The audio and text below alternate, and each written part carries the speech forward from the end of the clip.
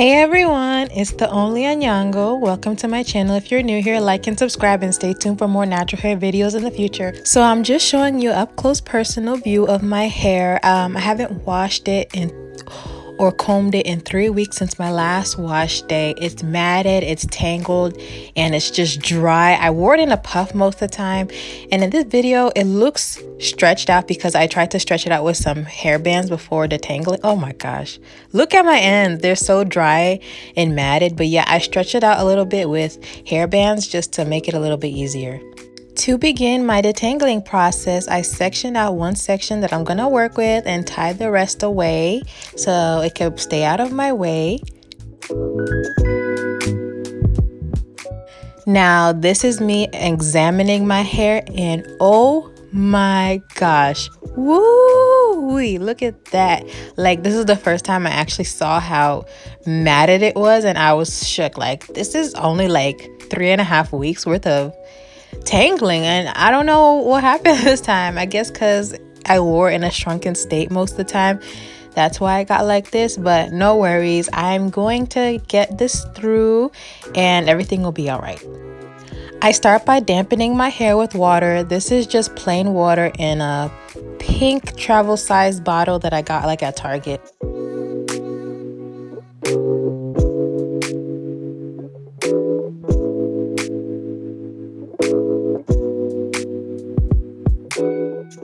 After dampening my hair with water, I start lightly finger detangling, removing shed hairs. Look at that shed hair.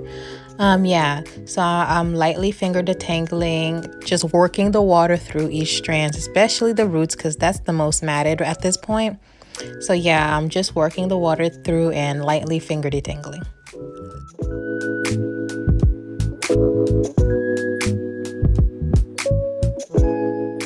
Water alone is not enough to complete this detangling process, so I, I grabbed this cheap Suave conditioner that provides slip.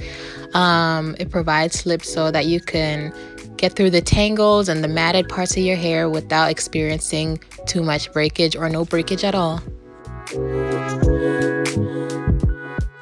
Once the conditioner is saturated in my hair, I begin my finger detangling process.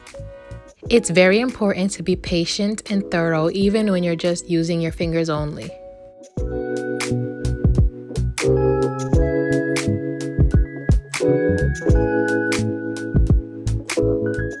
After I feel like I've finger detangled enough, I grab my wide tooth comb and I start combing from the bottom and working my way up gently. And as you can see, I split the one section into three pieces and that is to reduce breakage and to thoroughly comb each and every tangle out without um, experiencing breakage and making sure all the shed hairs get out. And at this point, I had already um, detangled every section, so I was able to glide the comb through the whole entire section.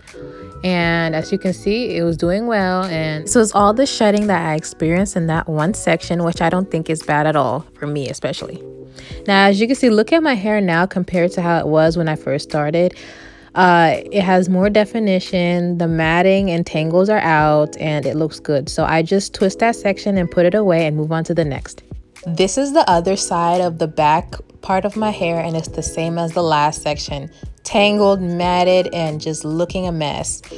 So I'm just sort of like admiring how matted it is right now. I'm trying to see the beauty in the work and labor that I'm about to do. So let me just try to find the light in this. But yeah, here are the knots and everything. Same thing I did in the last section. I start by spraying water all over it to dampen it and lightly finger detangle. Same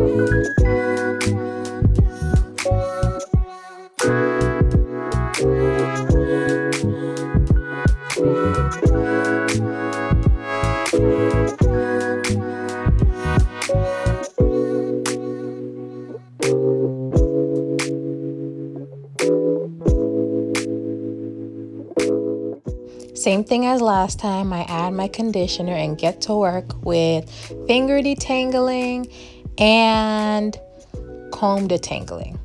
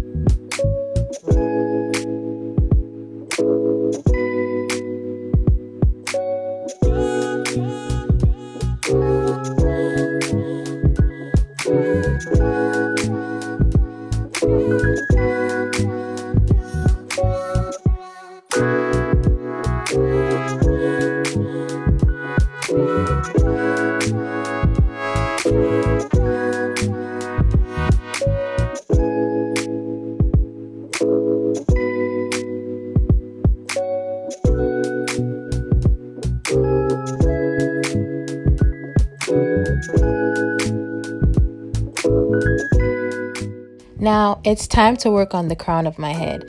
I section off the crown of my head separate from the rest of my hair. And the reason is the crown is the most prone to breakage, which is why I have to put so much emphasis on it. The crown is the part that has the most problems, the most breakage, it grows the slowest, and my scalp is usually the itchiest in this part of my head whenever it is itchy. So with the crown, I make sure to be extra gentle and be extra cautious and be very gentle and have a lot of patience with this area. On a side note, look at my nephew video bombing me. I'm doing my hair. What?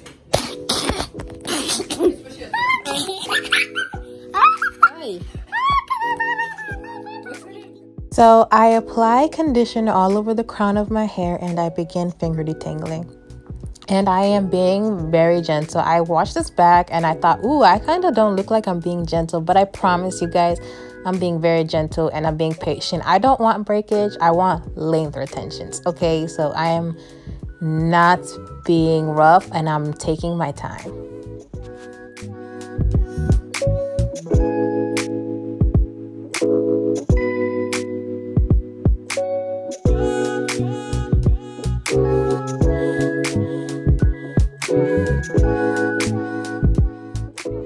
At this point, I had already um, detangled the crown in little pieces, and that's why you see that I'm detangling the whole section at once, but it's already been detangled in smaller sections.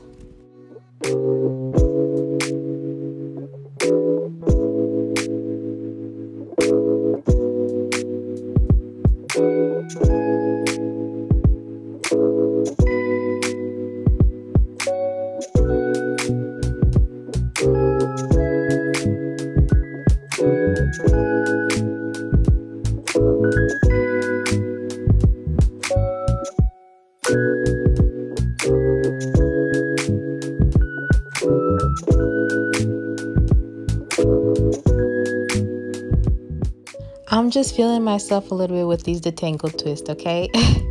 now, this is the front of my hair. The front of my hair was not matted at all. Like, the front of my hair is usually the softest.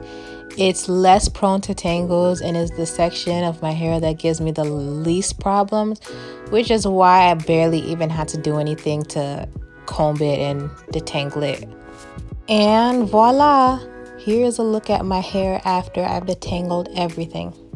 And this is all the shedding I received from that matted mess of three and a half weeks of no combing. I think this is not bad at all.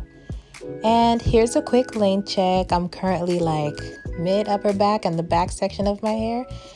And here's a front view of the juicy detangle twist again. Feeling cute. But anyways, guys, thanks for watching. Like and subscribe and stay tuned for more natural hair videos like this in the future. Bye.